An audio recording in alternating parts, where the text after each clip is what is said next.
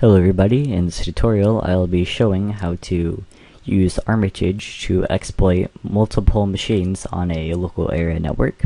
So Armitage is another way of interacting with Metasploit in a GUI form and this can be helpful for novice users or if you're exploiting multiple, multiple machines on a network. So let's get started.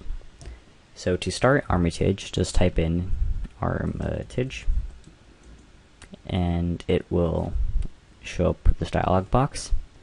So just connect, click connect, and click yes to start my display. And it will give this error, but it will load up. So now Armitage is on my machine. So let's do a simple nmap scan on this. So we go to host, nmap scan, and let's just do quick scan OS detect.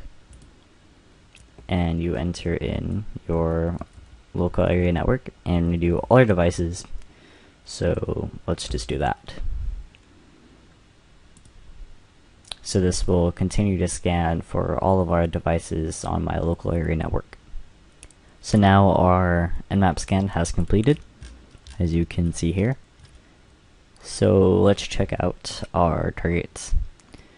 So we have Metasploitable located on 192.168.189 and our vulnerable Windows XP machine at 192.168.1.88. Okay, I actually just finished there. Anyway, let's uh, first actually let's find attacks. This will query for exploits and place them on each machine. So it's easier to attack them. And it's pretty quick. So it just says it's complete. So let's check out our Windows XP machine. So we can go to, go to attack SMB and we're going to use the MS08067 net, API exploit which is actually quite common and it already has the values loaded, which is nice. And automatic targeting is enabled, and we'll just click launch. And it will launch the exploit, setting the stage, and it is exploited. So we can see by this red outline on the system, and this interpreter session 1 opened. And we can see here that we have system privileges, which is very helpful.